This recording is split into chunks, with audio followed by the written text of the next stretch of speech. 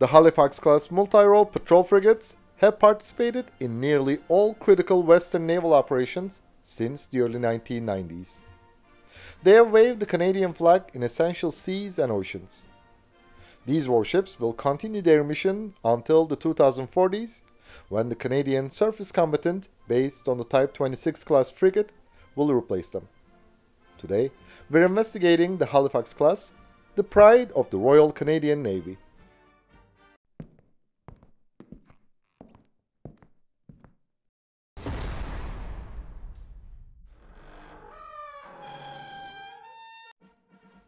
The Halifax class frigate is Canada's essential element for international participation in multinational naval operations. It is also known as the City class since all are named after a major city in each province, plus the cities of Ottawa and Montreal. During the Second World War, the Royal Canadian Navy's primary mission was to keep the sea lines open in the Atlantic and Pacific, and the Canadians were good at it. After the war, the Navy continued focusing on anti-submarine warfare, shortly ASW missions under NATO's First Cold War doctrine. Thus, the Royal Canadian Navy commissioned 20 Saint Laurent, Restigouche, and Annapolis-class escort destroyers between 1955 and 1964. In the early 1970s, Canada built four Iroquois-class destroyers as follow-ons to Saint Laurent class. However, these ships were much larger and more expensive than intended. So, the Royal Canadian Navy began to search for a more economical vessel to replace its ASW ship fleet and initiated the Canadian Patrol Frigate program in 1977. Canada evaluated the British Type 24, Italian Maestrale, and the US Oliver Hazard Perry class frigates as base models. But later, it decided to continue with an indigenous design. Due to the Royal Canadian Navy's primary mission in NATO doctrines, the new surface combatant would be an ASW frigate with improved air defense capability compared to the previous escort destroyers. After examining two different models, Ottawa chose St. John Shipbuilding's offer in 1982 and ordered six Halifax-class frigates of the first batch in 1983.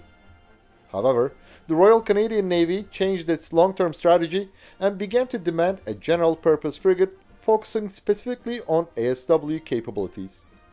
This change made the redesign works necessary. Also, Ottawa had initially assigned the St. John Shipbuilding as the main contractor for the first six vessels. Then, Marine Industries became a subcontractor for three ships.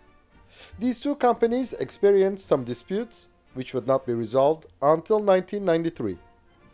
Before solving these problems, Canada ordered additional six frigates of the second batch in 1987. In those years, women began to serve in the Royal Canadian Navy. So, the Navy demanded to extend the Halifax class by 10 meters for the accommodation for the female crew and to increase the aviation capabilities of the ship. However, due to budget restrictions, this demand was refused. All these uncertainties and problems caused delays. The first ship of the class, HMCS Halifax, was laid down on March 19, 1987 and launched on April 30, 1988. The frigate was handed over to the Royal Canadian Navy for sea trials in 1991 in which some design flaws were unveiled. After they were corrected, HMCS Halifax was commissioned on June 29, 1992. Through the Canadian Patrol Frigate program, this country also developed indigenous tactical command and control systems which would be used on the ship. The hull and superstructure are mainly made of low alloy, high tensile steel with selective use of high yield steels to give additional strength in high stress areas and for ballistic protection. Even though the Halifax class is a large ship, it is designed with a low profile and a reduced radar signature. Its high freeboard, flush deck, and broad beam reduce deck wetness. This design of the frigate, with its deep draught and fine lines of the bow, prevents the sonar dome from being lifted clear of the water, reduces slamming, and minimizes pitch and roll. This feature also makes helicopter operations easy and increases general crew comfort and efficiency. The propellers maximize the speed at which cavitation occurs. Gas turbines, diesel, and gearboxes are raft mounted. Also, they are housed in acoustic enclosures where necessary. The hull openings under the waterline are kept to a minimum and designed to reduce turbulence and resonance. All 12 frigates were initially fitted with the Prairie Masker system, which released air bubbles from the hull around noise-generating regions of the ship. But later, these systems were deactivated when the Royal Canadian Navy determined that their operating costs outweighed their benefits. The Halifax class also has special measures to minimize heat signature. As the hangar is, the flight deck is 23 meters long and 16 meters wide. They can accommodate a 10-ton class helicopter. The Royal Canadian Navy initially deployed the CH-124 Sea Kings on the Halifax class frigates. Now, it uses the CH-148 Cyclone. The flight deck is fitted with a bear trap system allowing the launch and recovery of helicopters up to Sea State 6. All 12 Halifax-class frigates were modernized between 2010 and 2016 to expand their service lives to the 2030s. We will mention the changes system by system later. The complement of the Halifax class is 225 person. Its standard displacement was 4,300 tons while its fully loaded displacement was 4,770 tons. The ship has a length of 134.2 meters, a beam of 16.4 meters, and a draught of 5 meters. The combined diesel and gas propulsion system consists of two 23,747 horsepower GE LM 2500 gas turbines and one 8,800 horsepower SEMT Pielstick 20PA6 V280 MPC diesel engine. Its top speed is 30 knots.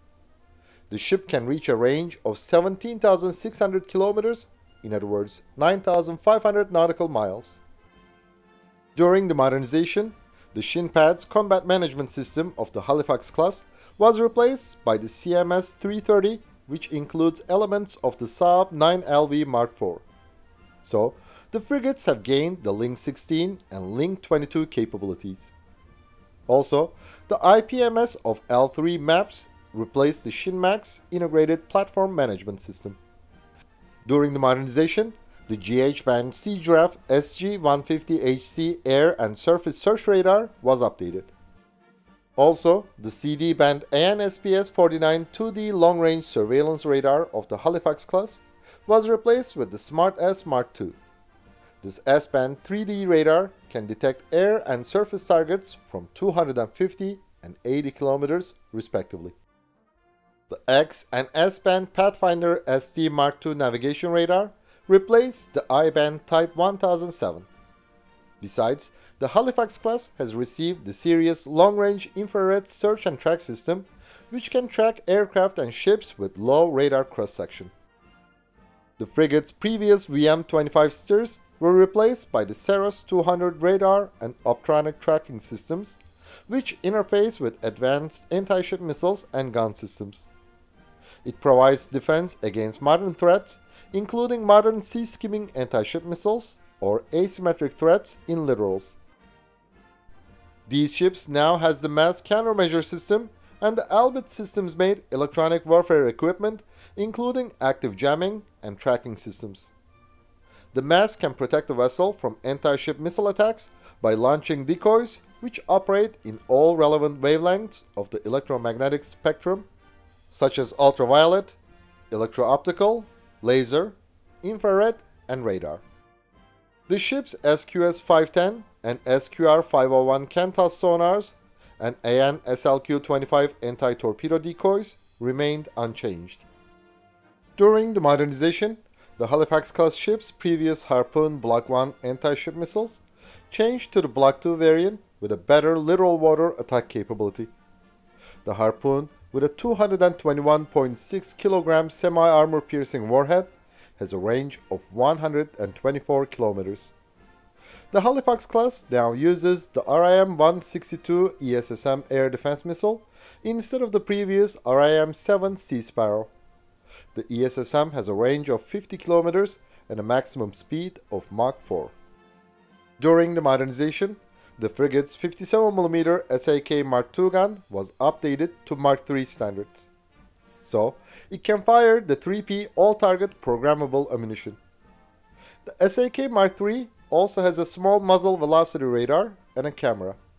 Thus, the gun can also be operated and fired manually without the fire control system using a joystick.